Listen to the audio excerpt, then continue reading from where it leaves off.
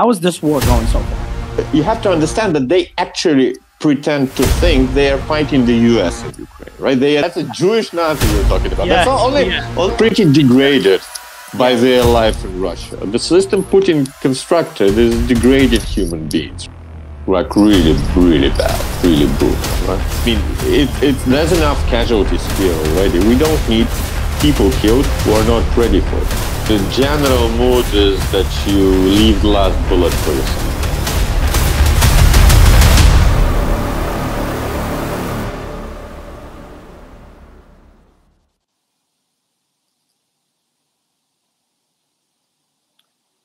Ladies and gentlemen, welcome again to the Black Site Show. Today, um, it's a very important segment. We are still continuing our uh, fighting against the disinformation in the Ukraine.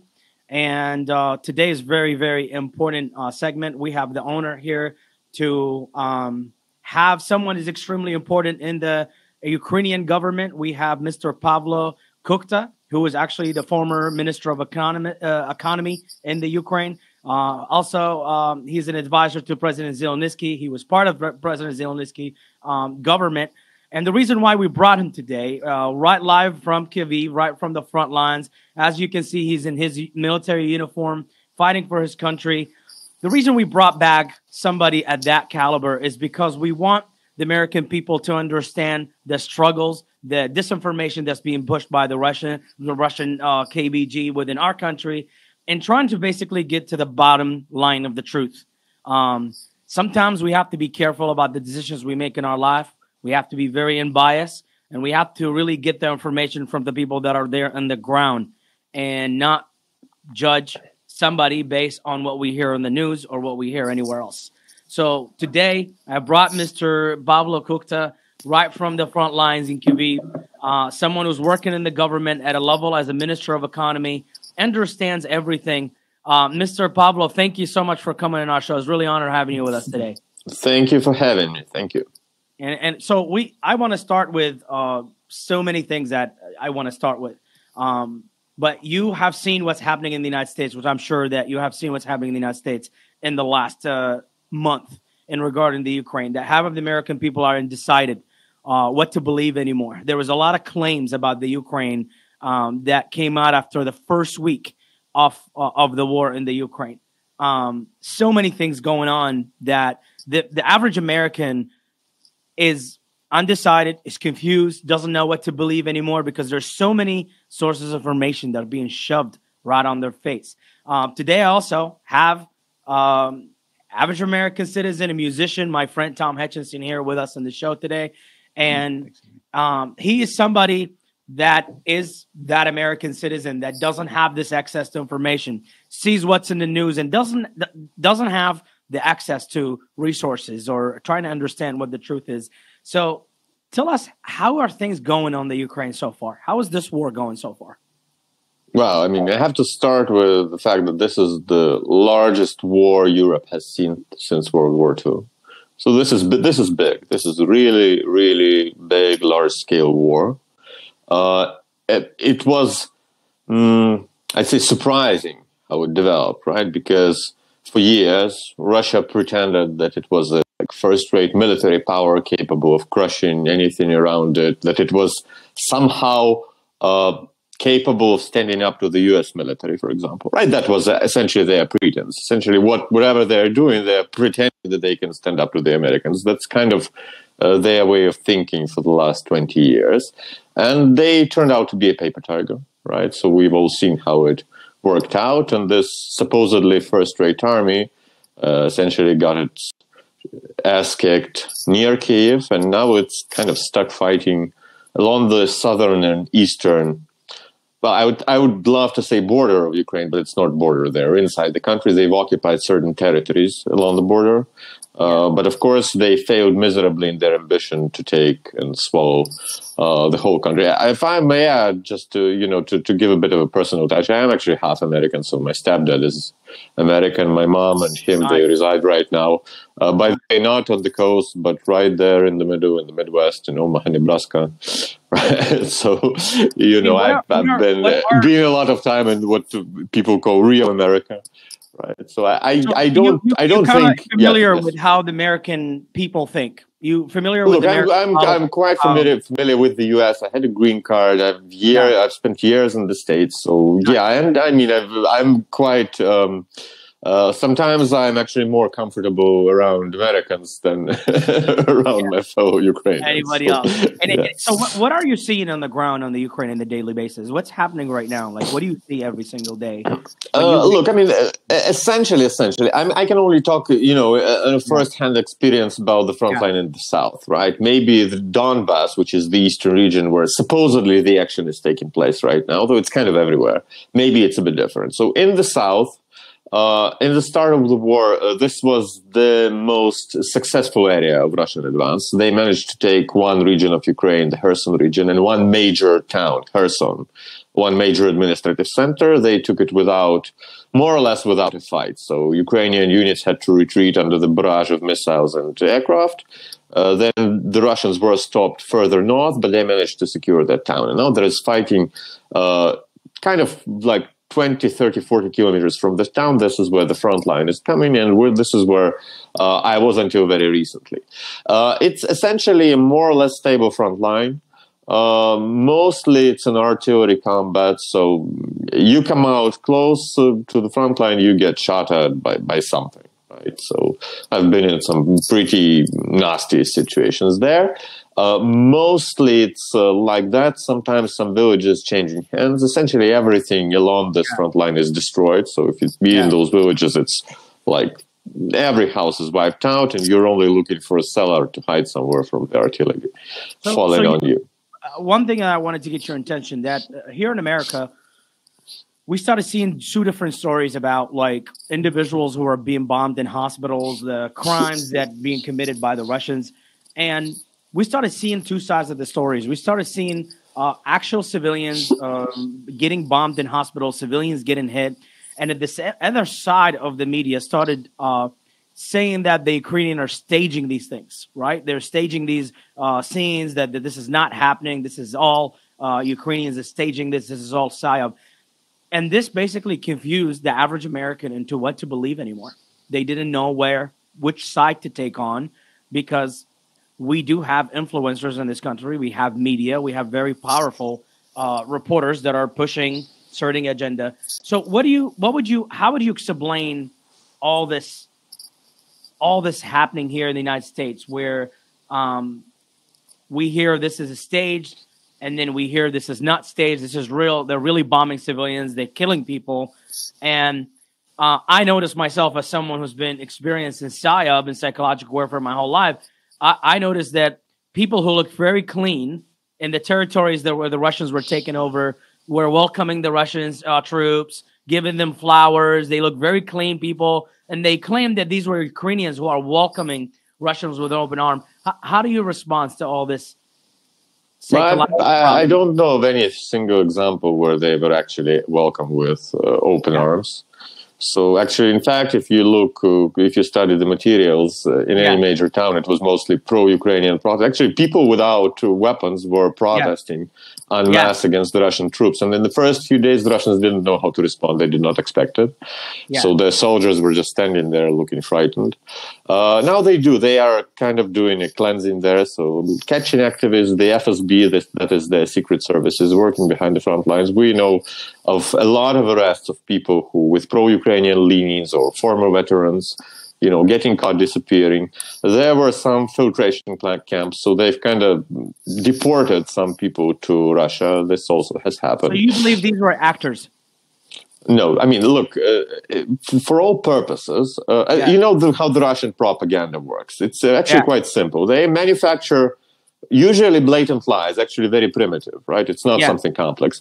Then they essentially pump money into promoting this wherever they can through on social media, through their media channels, which are fortunately getting shut down now, etc. So it's it's actually pretty simple. You manufacture lies, and then you just try to spread it by throwing money at it. This yeah. is how they work, and it's nothing complex. And uh, mainly, mainly, uh, they do it by, um, you know, uh, they, they they. It's not like they can uh, manipulate facts. You know, play something, um, toy with reality, right? Because they are very yeah. far from it What they Yeah. are manufacturing is mostly blatant lies. So they simply stick to it. They Yeah. throw in these stupid things, the fakes, and then just try to promote them massively to create an impression that a lot of people believe in this. This is Yeah. a very simple technology that they're using. This is Yeah. what they're trying to use now in Ukraine. Fortunately, I don't think this is successful in the US in particular. So I don't think they are succeeding in this. I don't think people are falling for this. Not after what has been in Bucha. Look, there are hundreds of American reporters there by now. You know, hundreds of American people. And eh, literally, you know, if, if anyone has doubts, you can come over or you can come over here after the war and take a look at it, right? I mean, Bucha is right there near Kiev. It's a suburb of Kiev. This is where all their murders, etc., etc., happened, literally, right? So uh, there are, look, I've seen dozens of American volunteers there on, Yeah. on the one segment of the front line where I was. Uh, overall, there are thousands, thousands of U.S. people fighting for Ukraine right now. They've all seen it, right? So I don't think I don't think this lies will stick, right? That, that's a good question you brought in about the volunteers. How, how effective are these volunteers in the Ukraine war right now that are fighting among the Look, the guys I've seen were pretty good. So most of them veterans, yeah, pretty good. So, So the- these were these were experienced American people. military veterans that joined the fight against the Russians and fighting in the side. Yeah, of I mean, I, I, I did, I never, uh, you know, we, we prefer not to ask their bios Yeah, or backgrounds, but they clear, clearly knew what they were doing. Say it like that. nice and and and uh, of course probably these are combat veterans who have seen seen it all and experienced and Mm, I would expect so. Yes. and uh, and um and how effective is that that you guys have in volunteers from the United States, from other countries, from the UK? How effective is that? They're fighting right there. Like what what are they bringing to the table that is different than any other Ukrainian fighter? Uh, look, first of all, they're all bringing knowledge of Western weapons, right? Nice. Which is right. They, I mean, the Ukraine is being supplied uh, by the West. Western weapons are clearly superior to the Russian ones on all counts. I mean, wherever we tested, the Stinger missile is superior to whatever the Russians have in terms of um, low-level anti-air. Yeah, Uh, the Western anti-tank weapons are superior to what the Russians have, and they're actually very effective against Russian vehicles. Right now, there is more heavy equipment coming in Ukraine as part of the U.S. lend lease program, right? Recently introduced by the Congress, by the Senate, by the President, Yeah. and uh, we will see how it works. But I'm pretty sure that again, this will be more of the same. It's clearly superior. Western technology is clearly much superior to the Russian technology right? And what these guys are bringing to the table, at the very least, is knowledge of this. But again, these are very professional, very motivated people who clearly know what they're doing, who understand that they are fighting on the front line of freedom, who clearly have a sense of duty, uh, you know, in a way that they fought for the free world in various places in the U.S. military or wherever they were previously, now on the front lines in Ukraine. So they, they kind of understand why they are there, and they are good, efficient, professional, motivated people. So uh, only, you know, my good graces to them and great thanks to them because they're a great help. What do you What do you think the different what when you look at this war right now? It's been happening for uh, quite a long time now. What are what is the difference right now between the Russian soldier and the Ukrainian soldier that's in the ground? Well, first of all, it's motivation. Ukrainian soldier is fighting for his home and for his life, right? And essentially, uh, Yeah. for the majority of them, there is no, Yeah. You know, nowhere to go to is if the country is lost. The mm-hmm. Russian soldier doesn't really know what he's fighting for, and his life is not very valued by them. So, you know, they throw away soldiers easily. They throw them into frontal attacks against Ukrainian positions. They die. No one cares. They Yeah. seemingly understand that. So, whenever possible, they actually prefer to just dig in and Wow. just stick to their positions and don't do anything. They're not very motivated. And this is something interesting you you mentioned. You know, here, Tom, we heard so much about Ukrainian casualties. We hear what goes on in the Ukraine every single day, and open is right above the table. We don't hear much of the Russian casualties. Well, the numbers you hear are, are all over the place from Yeah. uh, the U.S. and from Ukraine, and then what the Russians are Right. reporting. But I thought it was really interesting that Pablo said, um, you know, Russia's a paper tiger. I wonder, Yeah. like, what what does this mean in the near future, and then going farther down the road with like you know China's alliance with Russia? If if, they, if China perceives Russia like the rest of the world, maybe right now being not quite the military power that they thought they were, what like what's that going to mean in the near future? And uh, is what about Ukrainian offensives with Russia? Well, I mean, you know, it seems like everyone is uh, coming to grips with this now. So no one actually expected them to to be this weak, right? So probably there were doubts after what they did in Syria about their military capabilities, right? Because yeah. Uh, as you probably know, they were not very, they were very successful in killing a lot of civilians in Syria, but they were not very militarily successful. Right? Yeah. Uh, it, it was actually a lot like Ukraine. So massive very- artillery strikes, frontal assaults, and no no no results. So same here.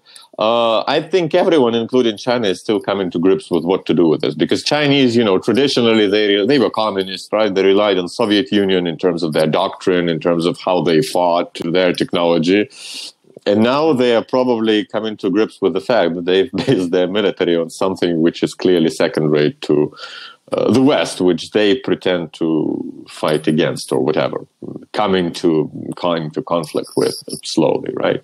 So I think everyone will have to do, you know, a lot of thinking.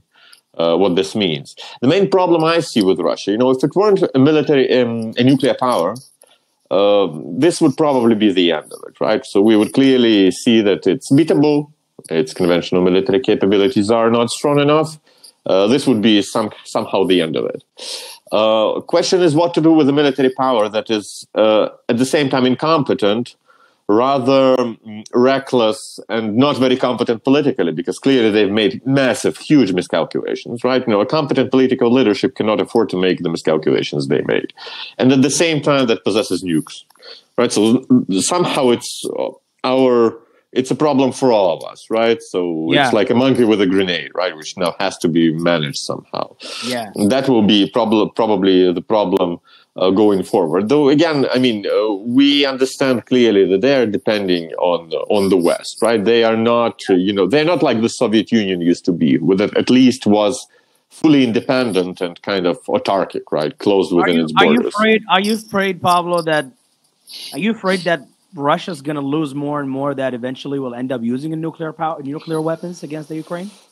But not really. No, not at this stage. So we don't really see any signs of it, and neither do Western intelligence. Which, and I have to say, Western intelligence was pretty spot on for the last year on what Russia's plans yeah. were. So I, I tend to trust uh, your intelligence community pretty big. Uh, not at this point. I mean, they're afraid. Look, uh, you have to understand that economically they are totally dependent on the West, actually. They're yeah. essentially like your fuel station, right?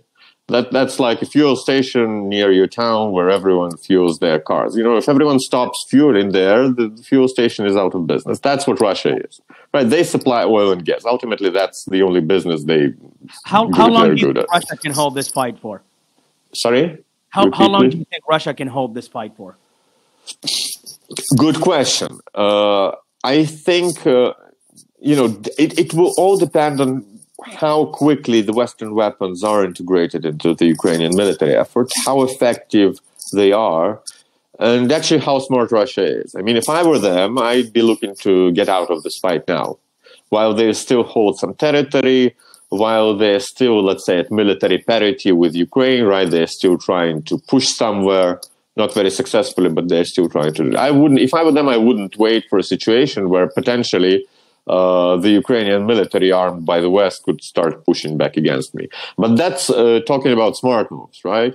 And what Russia has been doing in the last months was anything but smart, right? So we can maybe expect some dumb moves from them. That's the main problem with them. You know, when you're dealing with someone stupid, it's hard to forecast his behavior.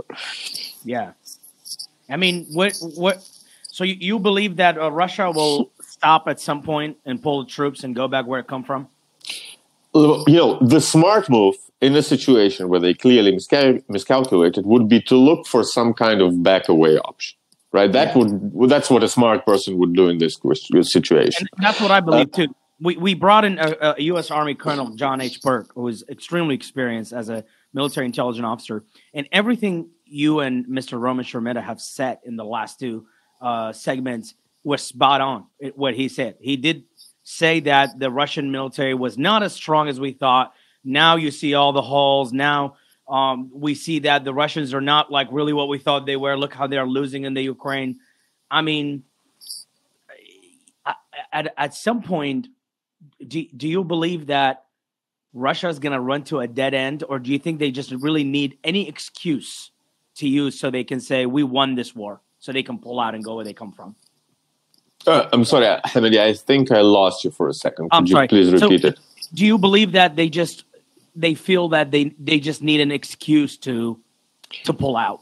Do they just need an excuse to say we won the war so they can pull out of, uh, the Ukraine? Do you feel that like they're stuck in the Ukraine? They don't know whether to back up or to stay in the Ukraine. Look, I'm pretty sure, you know, the closer to the front lines, the more that's what they're feeling. I mean, question is, look, they are not a democracy, right? They're an authoritarian system where essentially there's a guy at the top who's been there for 20 years, who does not take no for an answer, uh, who probably cleansed his own inner circle to reflect his own opinions, right? So it's, it's not like he has to contend with someone else's opinion. How well informed he is and what's in his brain, God knows. You know, look, right before the war, he came out with some crazy two hour lectures on history where he was literally talking to Lenin and Stalin. Uh, Uh-huh. I mean, this was unbelievable. Look, and this guy has nukes and, you know, commands armies. That, that's, that's the problem, right? I mean, if we were dealing with something at least half democratic, right, we would more or less understand what to expect because a democracy is kind of automatic. You know, when everyone sees something for a fact, this is a fact. I mean, the country, the state just follows with the policies that contend with that fact. And In an authoritarian system, you know, you can have a total, you can have a leader totally in illusion, right? Until he gets hit on the head with something. It's about legacy. It's not about. It's really not about the Ukraine. That's how I felt with how Putin is going. It's about his legacy. It- It's uh, about he's and- trying to build something.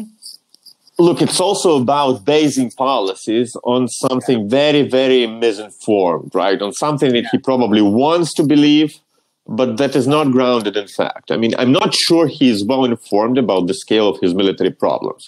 They are clear from the map, right? If he attacked Kiev, the capital of Ukraine, in the first days and failed to take it, and then retreated totally away from it, he clearly has problems, right? If on the third month of the war, where he intended to take the whole country in a couple of days, he's Yeah. sitting at a stretch along the border with all his military, Yeah. uh, you clearly see. You mean I mean, that's so objective? You cannot run away from this fact.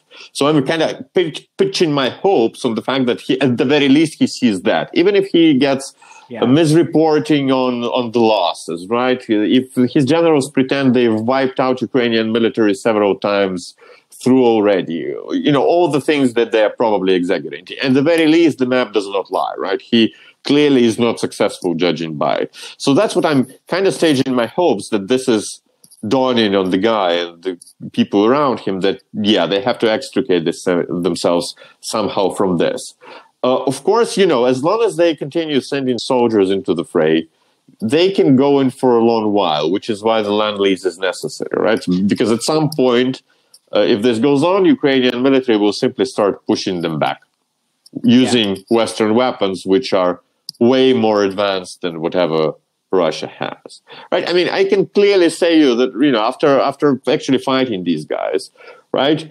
Uh, I would really be scared to fight American military, right? with with the high tech weapons, with precision weapons. Hey, you know, you know understand what? because we've we've been through it all. We have, you know, Iraq, Afghanistan, or we've been through this, and truly, what I have seen is that the Ukraine is not any different than Iraq or Afghanistan resisting against uh, a foreign enemy. Uh, and and I gotta say, I'm I'm extremely impressed, man, by the Ukraine. Extremely impressed by as them as a nation, as how resilient they are, and any other president in the Middle East, in my opinion, would have ran away at this point. Um, I don't care what people think. My Well- respect all, all goes to Zelensky for holding the fight against such a powerful country like Russia so far. And um, and and this brings a question here that is the American people been boiling on this question here. Um, we have an audience in this country, unfortunately, was pushing what looked like a Putin agenda, and they, you know, they came up with a lot of things that are unchecked and unverified information. And one of these claims were, um, which I was accused on by supporting the Ukraine. I woke up and I, I just said, you know, I support the Ukraine, and people said, "What? Why are you supporting Nazis?" And that's where I stopped, right? Because I wasn't informed in the history. I wasn't informed in. So, so how do you, how do you answer this, Pablo? That they are uh, claiming that the Ukraine is Nazis and that Russia is acting as self defense. This is something very big, important people here in this country has pushed, uh, which is people on Fox News, people in, in, in influencers. How do you really answer that? How, how do we put this claim to sleep? Uh, claiming that the Ukrainians are Nazis, they are, uh, you know, that Russia was trying to uh, act in self defense and try to denazify the, the Ukraine. H- how do you put that to sleep? Well, look, I mean, you know that I, I, don't remember who, but some some guy right after World War II said that the, the, Nazis of the next generation will be calling themselves anti-Nazis, right? And this is exactly what happened. So you know, Russia, under this pretense of reconstructing World War II again, fighting against Nazism, essentially turned itself into a rather perfect Nazi regime, right? And with those genocidal actions happening in Ukraine, they've kind of solidified it. They were fascist a fascist authoritarian dictatorship before, and now they've essentially are starting to commit genocide, like actual genuine Nazis did 70 years ago. So it's like, you know, it's like trying to answer a claim from a Nazi blaming his victim for Nazism, right? This is very weird that here we are even discussing this, right? If, I mean, look at their ideology. Look at look at what uh, they are telling the world. They're clearly megalomaniac I mean, they, uh, uh, look, uh, you have to understand that they actually pretend to think they are fighting the U.S. in Ukraine, right? They are not. Uh, they are trying to think about Ukrainians as somehow some kind of inferior people, right? Like like yeah. Nazis thought about the Jews. Yeah. Right? This is what they're trying to do, and they are pretending they are fighting the U.S. there. That Ukraine is somehow a proxy for the Americans. They constantly pretend that they are the U.S. is their major enemy. It's actually strange for me that people even uh, like Russia in the states. I mean, you if you talk to Russians, they hate the Americans. This wasn't yeah. the fact like twenty or thirty years ago. But yeah. now, after 20 years of propaganda, they hate the Americans. I mean, these are the anti American guys. Look, I mean, why would you even like them? I mean, they yeah. are your enemies. If there's, an, if there's your enemy in the world, this is Russia, yeah. right? I they mean. are our traditional enemy, and I'm not afraid to say it. They are our traditional enemy. John, you know, Colonel Burke have brought this up the same. Historically, when we didn't have our enemy, we fought each other. Russia is our number one historical, our uh, traditional enemy, and uh, you know, it shows you their influence in this country. It shows you like the propaganda they've been pushing. Pretty much, they push the same propaganda they pushed on the Russian people. And um, again, Hamidi, right? If I can yeah. get back to it, of yeah. course, of course, and this is very much a hurt on their pride. They turned out to be anything but on par with the Americans, right? Yeah. So, returning to the fact, simple fact of their military performance, which they boasted about for 20 years. I mean, they pretended to be the second military to the United States. They pretended they would somehow be able to compete with the U.S. military, right? That was their pretense.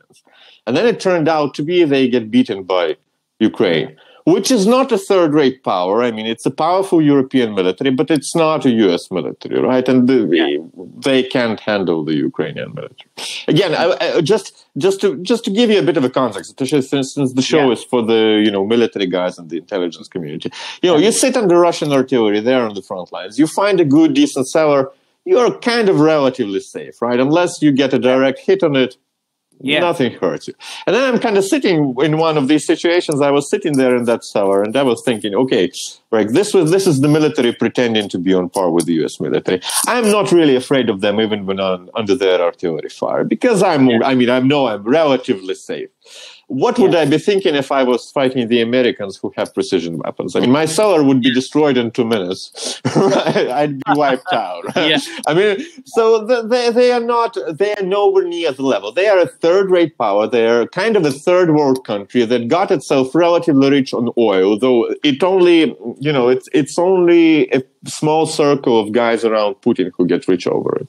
If I you look at, an, how an average Russian lives, especially not in Moscow or in Petersburg in the big towns, but really, you know, the rural Russia, and compare it with not with America, not with the American Midwest, but even with Ukraine, you'd clearly understand why they're doing all this violence. They're jealous. I mean, look, these guys were stealing toilets because they haven't wow. fucking seen them right? They wow. were stealing toilets from this Bucha and right. These towns they captured, and bringing them to Russia. They were stealing washing machines because they they have villages that have only now uh, got water. I'm not talking about tap water or something. I'm, I'm talking yeah. about water. You know, like you go, you walk out of your house and you wow. you have like a well and you do like this and you get water flowing from a tap. This, this, this is what they're living in. And this is where their soldiers get recruited, right? I mean, their soldiers do not come from the middle class, however shallow and small the middle class is in Russia. They come from the poorest segments of their society. These segments of society mostly live in kind of like Middle Ages, right? A bit yeah. modernized, you know, Middle Ages with cell phones. That's what I would call what they're living. Now yeah. imagine these guys being let into a civilized town, right? Imagine, wow. imagine like these half barbarian guys being given Kalashnikov rifles and thrown into not Ukrainian, but a regular rural American town. What would they do then? maraud, kill, and rape because they are barbarians, right? They are not civilized people. They, they, they, they, would, they would be seeing the civilization for the first time with their own eyes. And their reaction would be seen, the same. The destruction. I mean, I have seen the destruction. I have seen that the the craziness that like every all the pictures, everything. I follow every single day what's happening. And and you know there, there is uh, a, there's a claim that came out about kidnapping of Ukrainian children, human shields. Um, you mentioned genocide, and I, I, I, wanted to talk about chemical weapons, kidnap of Ukrainian children. What what are what are the background of these stories uh, of kidnapping um, children or pulling dead bodies back to Russia? Um, uh, you have to understand there are kind of two sides to this story, right? To the yeah. atrocities committed by Russia in Ukraine. Yeah. One is official state policy, which is genocidal by uh, its target, right? The, the goal is to erase Ukraine as a nation because they try to pretend that Ukraine does not exist. This is where the culture war comes in. I mean, right now they're trying to take away all the, on, in the occupied territories, Ukrainian language textbooks. They're trying to force the teachers to teach in Russian, right? So they're kind of trying to erase the culture. They were stealing children, right? Children from Mariupol, the town they besieged and almost destroyed right now. Some of them ended up in Russia and they cannot return to their parents in Ukraine who are in Ukrainian so controlled territory. There is missing children in the in the, there is uh, there is at least at least some amount of missing children. Yes, uh, some from Mariupol. Uh, during these evacuations, some children were separated from their parents and ended what, what up you, in Russia, and there was a huge scandal around this. What's the point of taking these children to Russia? Look, the same as taking other people to Russia because they do take some of them to Russia. They are trying to somehow um, modify the ethnic identity, right? They are trying to do an ethnic cleansing. I'm not sure how sophisticated they are in this, but they are do- doing what they can to do it. That is the official policy part. Now, there is another uh, another part of this story, which relates directly to Bucha, to Hostomel, to places where we've seen these vicious atrocities happen, right? Where we've seen people shot, where we've seen yeah. rapes, where we've seen murders, murder. yeah. lootage, right? Caused well. by the frontline units, right? It's not yeah. clear whether this is official or not official policy. But what I believe this is, this is just simple barbarity uh, executed in situations where no one is watching these soldiers, right? Again, they are recruited from the poorest segment of a poor country. I mean, these villages are half medieval. These people are uneducated barbarous, and for the first time, they are seeing a relatively prosperous European neighborhood. And the people living there, and they've been indoctrinated to hate these people, right? And this is then what happens, right? This is like, you know, like the Germans during World War II committed atrocities yeah. against Allied soldiers, right? When during the Battle of the Bulge, they've shot several hundred American soldiers. They took prisoners. There were famous massacres. Why yeah. did this happen? Because these guys were relatively barbarous and also indoctrinated to hate the people they took mm, as prisoners. I, I this is the saw, same behavior saw, on part of the Russian soldiers. I, saw Pablo a picture of a, a, a, Ukrainian teenager that was raped and thrown to the side of the road, and it's probably one of the most disturbing pictures I've seen. And uh, you know that's why I wanted to kind of find out like what this is, right? What what really happening, right? Like I. Uh, it's kind of hard for me to say, hey man, I don't know what side to take. When I see these people raping people, raping teenagers, killing them, throwing them in the side of the road. Uh, at some point, I have to say that I have to really make my decision and not be hesitant to take make my decision because uh, these individuals are not following any of the Geneva Convention. They're committing war crimes on the daily basis. Do, do you believe that we, America and the West, is doing enough to support you guys against Russia? Yes, I believe in general, yes, at this point. I mean, I understand the American position, and I understand that it would be reckless to come into a fight for a nuclear power with a nuclear power. I mean, th- there is a certain responsibility that the fact of being a superpower imposes on you, and it, it is imposed on the US, and that is avoiding a nuclear war. Right, so this I understand why the modality of the fight that Ukrainians are fighting and the West is providing resources. I think it's a workable model. I think it can solve the problem. So uh, it is. It does indeed put kind of the brunt of the fighting on us here, right? Because then we are the ones who have to go into combat and die there if necessary. But again, if that is the only way to resolve the situation, then okay, let's move forward with this solution. But it's a workable solution. And I believe the West right now is uh, again, the West is, you know, when we're talking about the West, we're talking about very different nations. The US is doing enough.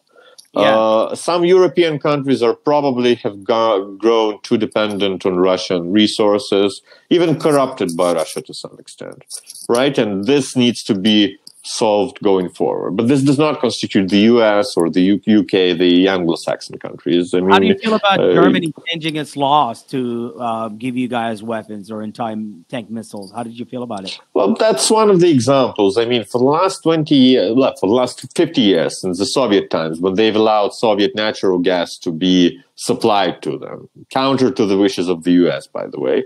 They've grown dependent on the Russian energy supplies, which was a very dangerous and not very, very smart thing to do. So I they've I mean, earned. Warned them, warned Germany right. back then about it. He told them, right? Yeah, he gave her a white mm-hmm. flag. Yeah, he's like. Yeah, I mean, no, I, I, mean, I mean, seriously, they've earned a lot yeah. of money over it, but uh, you know, there are some things money can buy. That is security, for example. Do you they've, believe uh, Germany felt like they're going to be next, or do you feel like any other European neighboring countries of the Ukraine felt that they could that could be them if the Ukraine. Look, I, I feel it's a it's a kind of internal domestic fight in each of these countries. So you can't say like you you can't um, talk about Germany in this sense as a kind of yeah. single entity. There are actually two sides there. There are those who understand clearly the dangers of them. Then there is yeah. was this kind of oligarchy that has grown corrupt and relaxed with this Russian flow of money. They liked it. They've earned a lot over it. And they were kind of lobbying to continue because this was good for them. So that that's kind of the an, an internal fight in each of these countries, right? And I'm careful about criticizing the countries because then we're starting to blame the people who are quite innocent in this. Uh, in the things that was done by a very small circle of rather corrupt elites right? It's a, it's a bit of a different story, right? It's not correct to blame the people for what the corrupt part of the elite did. Yeah. So so my my, my question here comes back to uh, how, how do you feel about Zelensky's uh, leadership in this war? How do you feel? How do you evaluate him as someone you've been the minister of economy? You've seen him. Uh, you've seen him from the beginning of war. Like you know, Mr. Roman Sheremeta, when he was in the show, he said he stated he he did not vote for Zelensky during the election, um, and uh, gave his opinion about how his leadership was going through the war. And uh, how do you feel about Zelensky as a as all this pressure on on him? Right, like here in America, you know, I, we have people who came out and built a very crazy picture of Zelensky that he's this Nazi guy, he's terrible, he is uh, putting his uh, he's putting his opponents in jail. He is this. He's bad. I, from what I've seen so far, and from what you're seeing so far as a Ukrainian citizen, as someone, as a politician in the Ukraine, how do you feel Zelensky is doing so far in this war? Well, look, I mean, uh, uh, yeah, this whole story about Zelensky being a Nazi, it's already uh, incredibly already... stupid, right? The guy is a Jew. I mean, that's a Jewish Nazi you're talking about. Yeah, that's only yeah. only Russian propaganda yeah. can manufacture but, this bullshit and actually try to promote. To show this. you how powerful the Russian propaganda machine is. Yeah, but uh, also un- unbelievably stupid, right? I mean, a Jewish Nazi. Can you imagine that? But anyway, look, uh, I mean, he's a commander in chief uh, in a nation that's at war right? Yeah. Overall, I think he's doing his job. He is. Uh, he has stayed in Kiev when he, the town, the city was in danger. He has shown leadership. He has uh, led the nation through the crisis. Yeah. So, and and that's essentially where I stand with it. You know, any subtleties of policies that we can agree or disagree on will have to come after the war right? He's doing his job. He's the commander in chief, and you have to understand. Look, this is not like Zelensky's war or someone else's war. Exactly. This the is uh, the people's war, right? Yes. This is uh, uh, the war that the whole nation of Ukraine is fighting, and I believe that actually the success, Ukrainian successes, come uh, mostly from you know the small unit leadership, the initiative, the motivation, even in the in the military, you see that that uh, you know the Russians are afraid to do anything. They're waiting for orders. They're top down. Ukrainians are motivated. Officers in the field are ready to take the initiative into their hands, and this is what has led to these tremendous results, right? Where by the numbers you would expect the Russians to break through to win, and they are losing right? They are losing because of this difference in motivation and small unit leadership. Ukrainians are fighting in much much closer to what the American manuals would tell you you're how you're supposed to fight. I, would say like that. And uh, I wanted to go through a questions that actually uh, uh, these are the fans' questions. They have sent this last night, um, asking these questions, and I know we might already have answered some of these questions, but if you can give us a brief uh, answer to them. Um, so our our first question that came in um, yesterday for you in person that came in and said uh, how long do you believe Russia can sustain this war before their economic collapse? Oh, good question. You know, I think as long as they're selling oil and gas, uh, they can actually go on for years. Uh, I'll explain to why I think that. Uh, because ultimately, ultimately, I mean, their economic model, the core of it, is very, very simple. As I've said, it's an economic model of a fuel station, of a gas station, right? So yeah. as long as the gas station can sell gas, it generates cash flow that it can live off. There, people will be living in poverty. Uh, nevertheless, again, the, the, this broad class that is the base of support for Putin and where Russian soldiers are recruited has been living in poverty forever. These people have never seen any kind of prosperity. These are not middle classes who have seen the Western way of life this is Middle Ages plus cell phones. That's how they're living. And then yeah. life will not change materially because of sanctions, as long as the money keep coming. If a, a total embargo on energy exports is introduced, then of course they will run out of money quite quickly. It will be a matter of weeks or a month. But it's not yet introduced, and it's even if it's coming, it will be coming in some stages, and they'll be trying to circumvent it. So I think purely economically, it can take a long, long time, and it might not be successful. What, what will be what, more what, um, successful um, is a battlefield victory. What what sanctions do you think um, would really make like what sanctions do you think that would really um, make a difference uh, against Russia? Take away the earnings from energy exports. That that's about the only thing. I mean, that's that's the only major important segment of their economy that you know that that is important really everything else i mean there's a lot of stuff happening around these sanctions a lot of companies exiting you know financial sanctions a lot of subtleties a lot of different actions by different countries but when you look at it in a nutshell the first thing the us did which was hugely important was arrest the Russian foreign currency reserves, which are actually money generated over time from the sales of their oil and gas, of their energy, right? Yeah.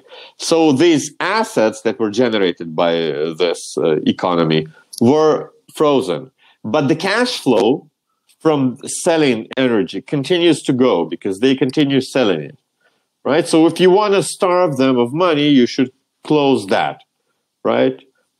As simple yeah. as that. These are kind of two major actions. Everything else are secondary.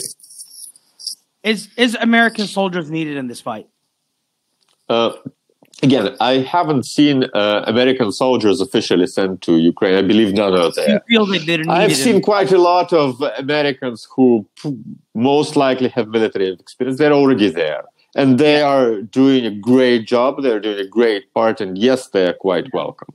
Uh, but if you were asking about official U.S. boots on the ground, no, I don't think they're necessary there, and I think this would be a wrong move at this point. I mean, weapons. Yeah. People who volunteer, who are not officially related to the U.S., who want to come and fight for freedom, they are welcome. Otherwise, Ukraine, you know, with enough support, Ukraine can win on the battlefield. And, and this puts the claim to sleep that you know uh, we don't want our sons and daughter to go there to die. The Ukrainians themselves are telling you we don't need you. here, if you would like to be here and fight with us against Russia, you are welcome. But we don't need U.S. boots in the ground officially. And I, I know they've been saying this. We've been saying this. But of course, you know, when you have people coming on the media, reporters telling, trying to make it more about the war, trying to make it that we may lose soldiers in the Ukraine, that we don't need to go to this conflict, that we don't need to support the Ukraine against Russia. And I think some of that is Russian propaganda. It's basically trying to get mm. the American people to pressure its government from not supporting the Ukraine. Right. And we saw that. Yeah, to make people afraid that their sons will be sent over here. That. No, if if they want to, they are welcome. But if uh, someone is forced to know, don't don't. I mean, it, yeah. it's there's enough casualties here already. We don't need people killed who are not ready for this, right? Who are not ready to take this risk. Getting back to um, Pablo talking about the energy, um, you know, it's like our our current policy that we've crippled our own energy production sector. Yeah, that's a lot to blame for this. Yeah. you know, where Europe should be depending on us for natural exactly. gas and oil. Yeah, and we put ourselves and the rest of the world in danger by this by this lunacy that we have. We're sitting on more gas and oil than the rest yeah. of the world combined. Uh, but Pablo, the one thing that's really um, sticking out in this interview is your sense of optimism for the people of Ukraine. I, I feel like you feel like this is going to end eventually in a very positive way for Ukraine. Look, I believe so, definitely. Yes, I think, I mean, war is terrible. but uh, at least, uh, you know, this war has, uh, I'd say, clearly shown who's who, right? Uh, yeah. and uh, clearly, you know, the worst danger Ukraine has had since it, since it got independence 30 years ago, ultimately was Russia, right? Because of this quirk in Russian mentality out of which the modern day Nazism grew, right? They're crazy about Ukraine. They they cannot stand the fact that the nation exists. It's like it's like this quirk that Hitler had with Jews, right? They have the same with Ukrainians.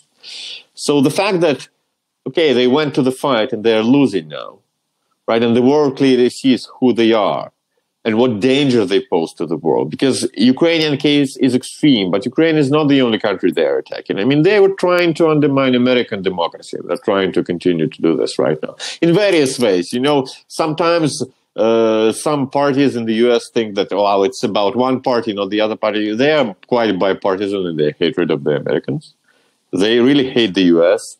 They, um, uh, I would even put it like this. I mean, they covered the status of a superpower. They're jealous about the American success. And at the same time, they hate the Americans, right? And they're a very dark society, right? They, they, they're, uh, in, as a society, they are psychologically very problematic. That's how I would put and it, they right? show that in Ukraine.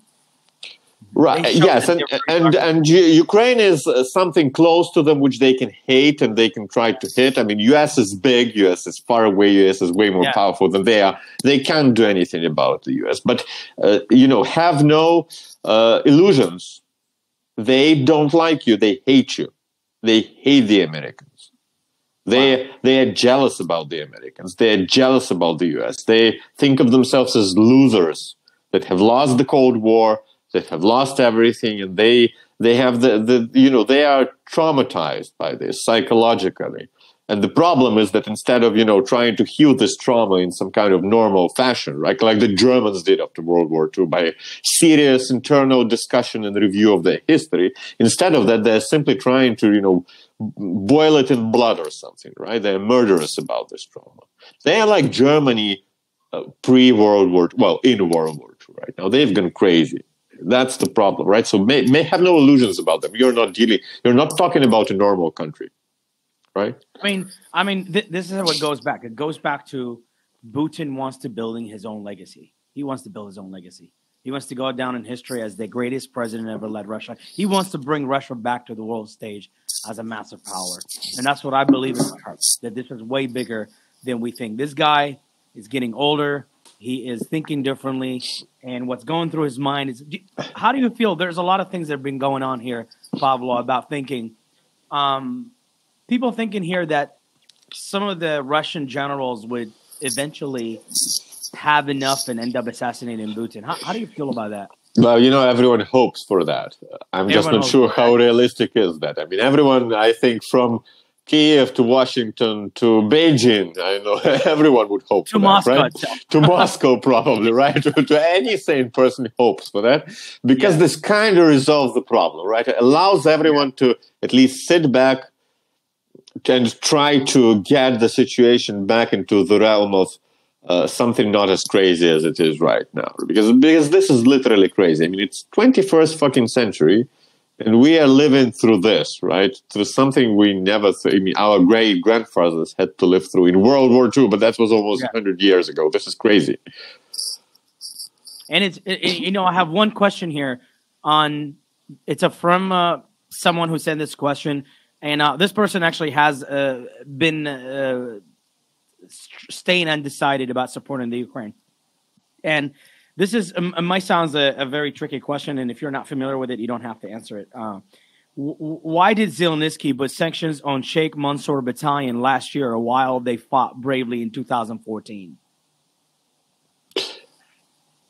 Uh, let me try to remember the situation. I think, uh, if I remember correctly, Yeah. uh, there was some bureaucratic stupidity uh, related. If uh, if uh, I think Sheikh Sheikh Mansour Battalion is again, if, uh, correct me if I'm wrong, is a Muslim uh, Yes. battalion consisting of Chechen Mhm. uh, fighters who are That's in opposition to the Russian regime, right? Yes. Who who Yes. had to emigrate.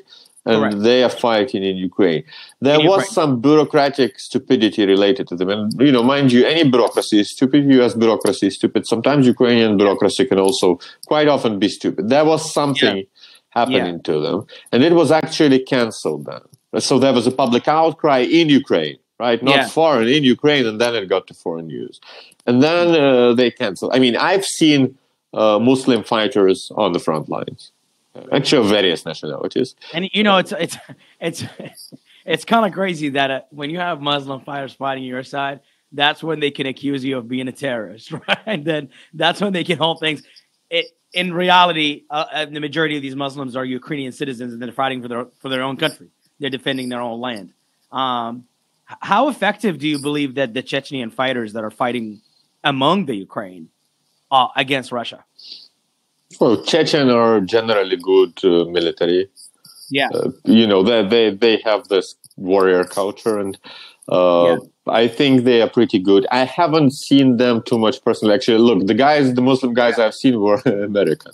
Oh, wow. So they- and probably, probably not- of probably of Ira- Ira- Iranian origin. So they're kind Okay, of so more this is more very- Iranian opposition, right? So This is very tough on Putin.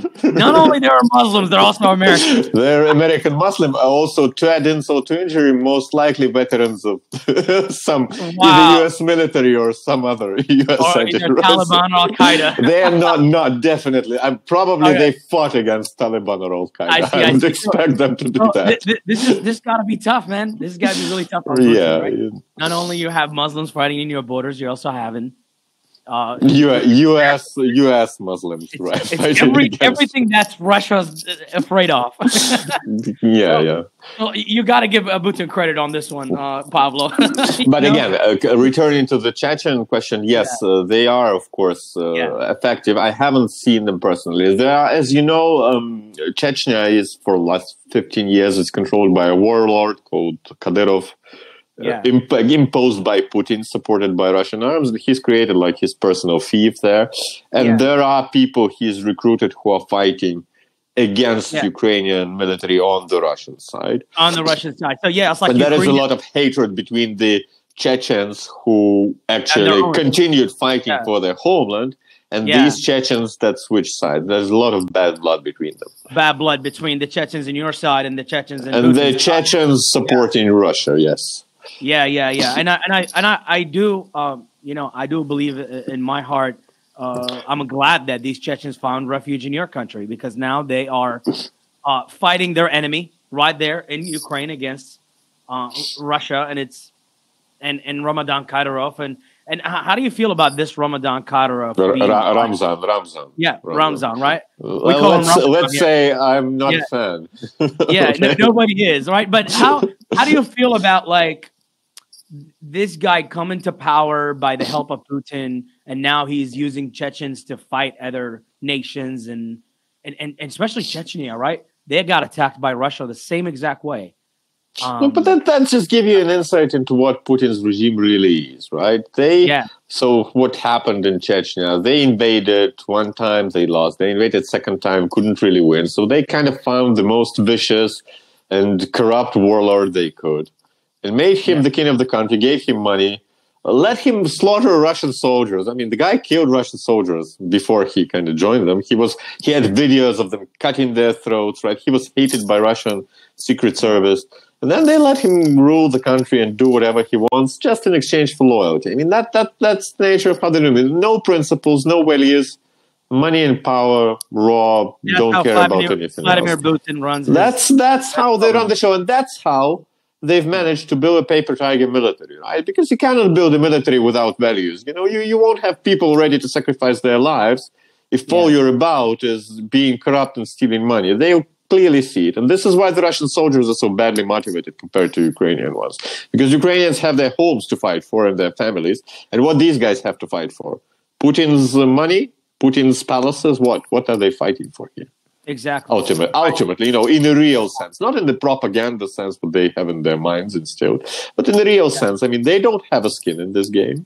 Yeah, and uh, you know, uh, here here in uh, in America, we uh, a, a, lot of uh, Americans or uh, American politicians in general thought you guys have biolabs, and uh, Roman Sheremeta have answered this question perfectly. But I do want to bring it by your intention. Um, how do you feel about that? About you know the accusations of uh, the Ukraine having biolabs. Um, they accuse the Ukraine being behind COVID. Uh, it, it's so many things, man. Like, I, Look, and I know you do realize it's the Russians yeah. again trying to pretend they're Americans. I mean, they're yeah. just taking the what happened in Iraq in 20 years yeah. ago and trying to recycling it into some kind of crazy social media story and trying to push it. I mean, they're look, guys, they're jealous of they're jealous of the U.S. They're, they yeah. they their dream is for one second for someone to recognize them as something equal to the U.S. That that's what that's driving them really. They I mean, psychologically, deep down inside. So basically, they, Russia they feel as they are losers, right? They are losers compared to the Americans, and then they desperately want to get out of this position. I mean, they're traumatized. You have to understand that. That's why so, they're constantly pretending to be, they want to be a superpower. They're pretending they're on equal footing with the US. But that, that, that's just how it is. Look, I mean, they're, they're like your, you know, I know, some, you know, traumatized guy in, in, yeah. in high school, you know, looking up to the local, I know, football champion and trying to pretend he is like that. Something, something along these lines. It, it, it's kind of like social. It's all about social psychology. Ultimately, at the end of it. So my last question is: is if this war is over tomorrow, what is next for the Ukraine? What's after the war for the Ukraine now? Well, for Ukraine, what's next is obviously rebuilding, rebuilding the economy, rebuilding the military.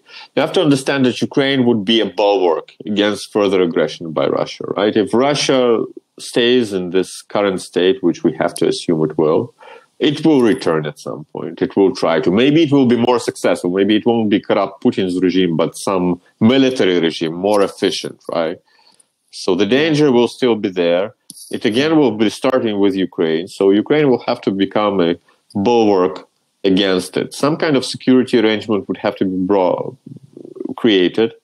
Uh, but personally, frankly speaking, what I believe in is not some kind of security guarantees, which are not very credible when we're dealing with nuclear powers, but yeah. a very, very strong Ukrainian military. And We've are, are seen you- that it's capable, right? The people are capable, professional. It consists yeah. of veterans. There are millions of people now who have served as me, for example, as volunteers yeah. on the front lines who used to be civilians who now have military experience. So, correctly equipped, well funded, well maintained military yeah. machine with these people with a large, huge reserve and well equipped professional military can hold the line. Right? So That's what I believe in. Yes, I believe building Ukrainian military would be in the best interest of Ukrainians, but also in the best interest of the West. I think this uh, partnership would have to go a long way. And it, it would keep the Western, so particularly the American soldiers. We're, we're talking West, but ultimately, when power has to be brought in, we're talking about the Americans, right? Because it's the U.S. military that's That's the main military of the West, right? And uh, I think for the Americans, it's better to have a strong Ukrainian military keeping some regions secure than to have to brought in your own guys when push comes to shove in that region, right? It's simply it's a very rational, you know, not not uh, it's a very rational thought. It's a very rational idea. So I think this strategic partnership will have to grow stronger and continue, and it will be very beneficial to both sides. What is Zelensky's future after the war?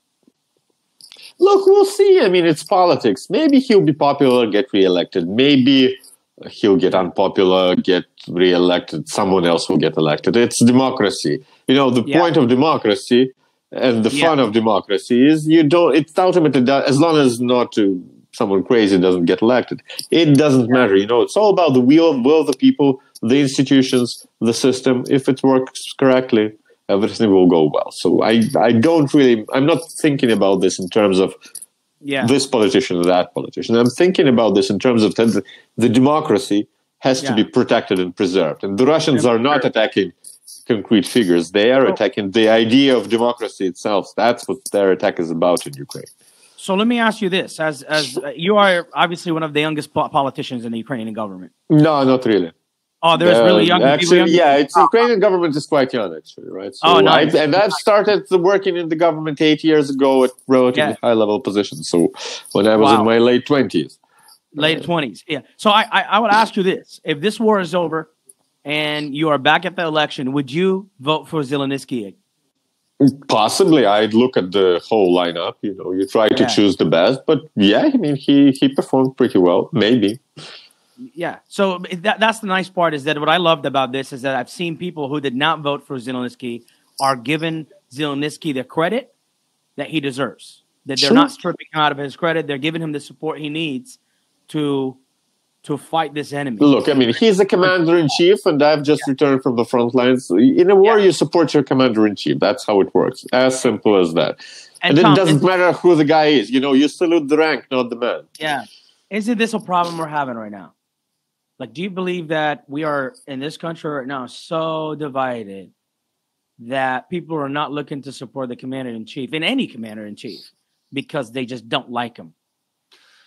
Well, yeah, I mean the the division has happens in uh, you know by design in so many ways, but that's to weaken. I think just to weaken the influence of the U.S. Let's be honest. If Biden goes to war tomorrow against Russia, I mean, is is the other side, or if a Trump will go to war against Russia, is well, well, is the other side going to give the support and the the, well, the, the, the, the the commander in chief needs, or do you think we have really went too far? Well, see, I think that's that's the one thing that yeah. you know they used to say politics in the U.S. was between the forty yard lines. You yeah. know, most people you had a left or a right view, but you were all very pro American.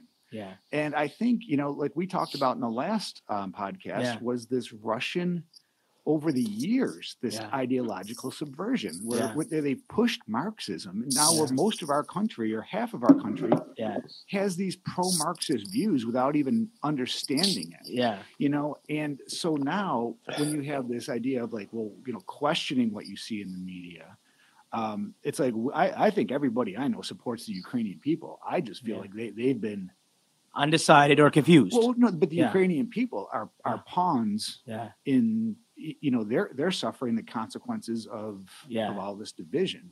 Yeah. Um, but yeah, you know, if if if there was something, I, I would hope that the country supports the military, even yeah. if you don't support the necessary commander in chief. But again, I think it's this yeah. division's been to decrease the, the U.S.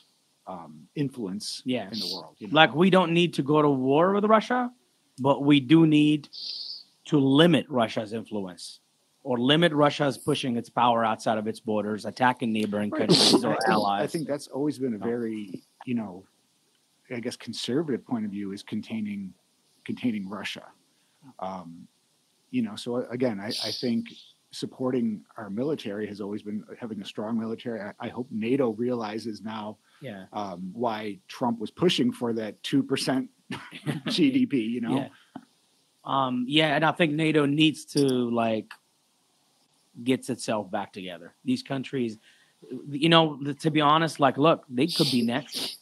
right? It's it's, If easier- Putin had it easy, do you think Putin would have not intimidated those other countries, Poland, all the other Well, countries? absolutely, it's He it's, would. It's much easier to to really stop it before it starts. Yeah, And, and again, you know, we had a whole year where this this war, I I feel like, Yeah. may not have had to happen. yeah, Um, but you know, by by not helping Ukraine earlier, yeah.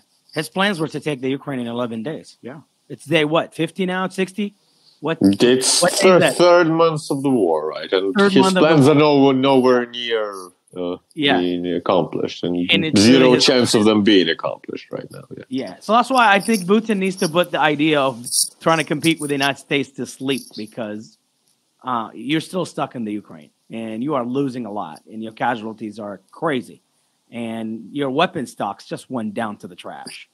I don't think anybody is going to respect uh, the the Russian tanks anymore or the Right. Russian weaponry systems or any of them. right, Pavlo? Do you see that um, that sense of like uh, morale decreasing in, in the average Russian soldier? Then, Well, you know, we haven't been uh, talking to them, more like firing at them. but yeah, yes, in general, I, I would imagine they're not very happy. Again, what I can tell you, right, you know, specifically on the southern front line, what they are doing, they're trying to dig in. They're very scared of Western weapons. I mean, you, you'd seen, you, you, you'd laugh if you'd seen like three and a half meter uh, these um, dugouts they made for their tanks, so the tank is totally hidden there, so that it cannot be noticed. Because if if their turrets were sticking out, our guys would kind of uh, c- c- crawl towards them and shoot a javelin at them, and it hits from above, so the tank gets killed. They're very very scared, really very Yeah. scared of Western weapons. They are not particularly eager to fight or to attack wherever. It, I think they're pretty happy to sit where they are. Uh, so no, I mean, and they never really, you know, apart from the propaganda, they never they wanted it easy, right? They they never expected to have to fight a real war. They weren't really ready for it. They weren't ready to die en masse. They were, Yeah. I think, shocked by that. Right. So no, you know, look again. I mean, they're not. An, they're not the U.S. military. They don't don't have this. Uh, you know, how, how do you call it? Um, esprit de corps. Right. The the spirit Yeah.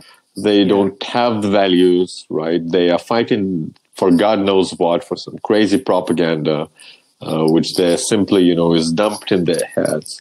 Uh, behind them are corrupt generals who have been stealing from their own army for years. I mean, look, they were having issued the MREs, right? The, the meals they were Yeah. issued were, uh, I think, uh, 2015 was the year they were supposed to be discarded and we're in 2022, right? So they're eating. Can you imagine that they expired for seven years, and they that that's what the soldiers sent into the fray directly, right, into combat, were issued.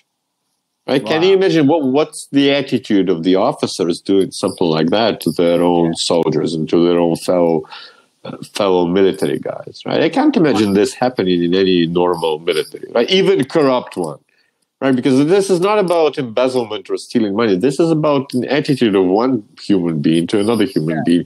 If they hate each other so much, if they don't care about each other so much, why would you expect them not to to conduct the atrocities they're doing? I mean, Or- they, or they, they are pretty degraded by Yeah. their life in Russia. The system Putin constructed is degrading human beings, right?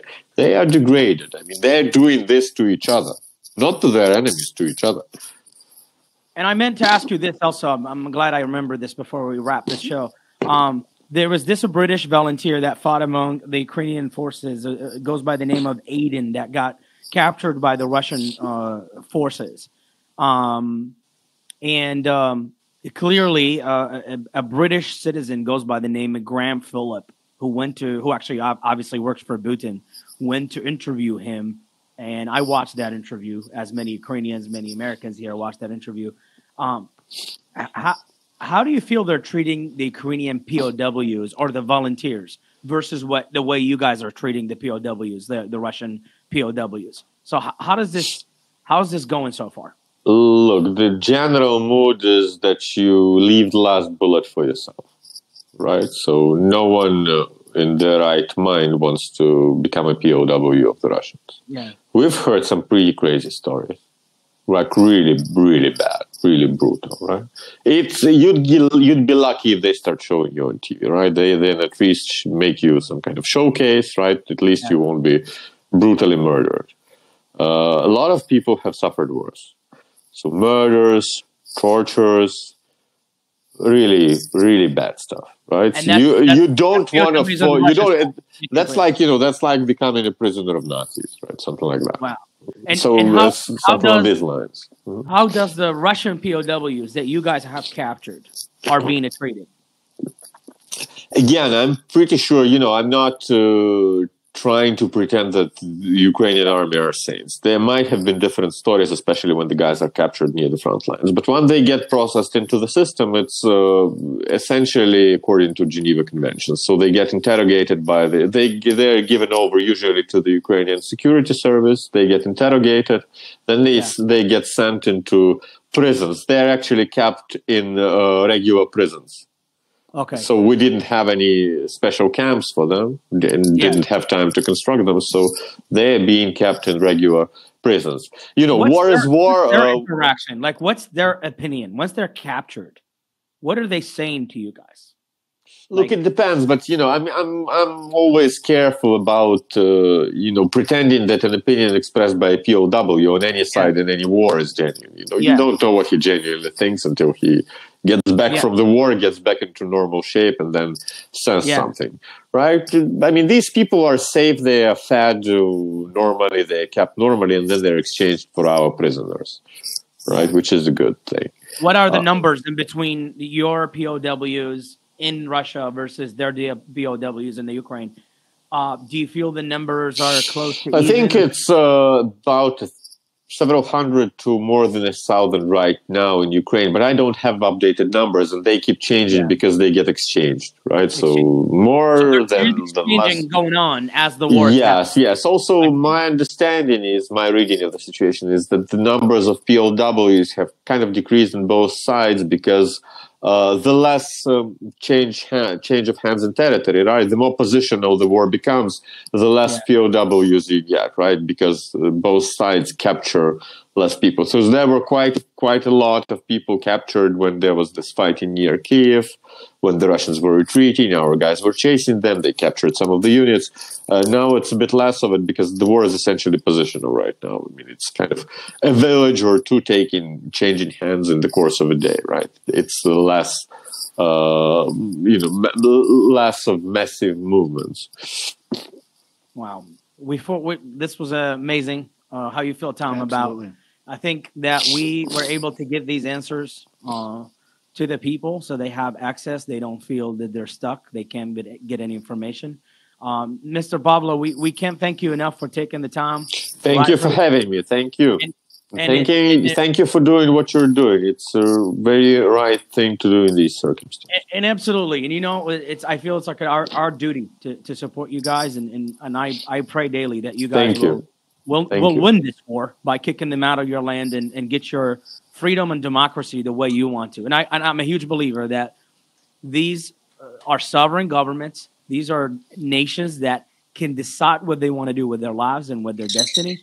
And Putin has no right whatsoever to decide for them how they should live. Can't thank you enough, Mr. Pavlo, for Pavlo for coming from the Ukraine live in his own uniform uh, and bringing the truth to the American people that the truth they deserve to hear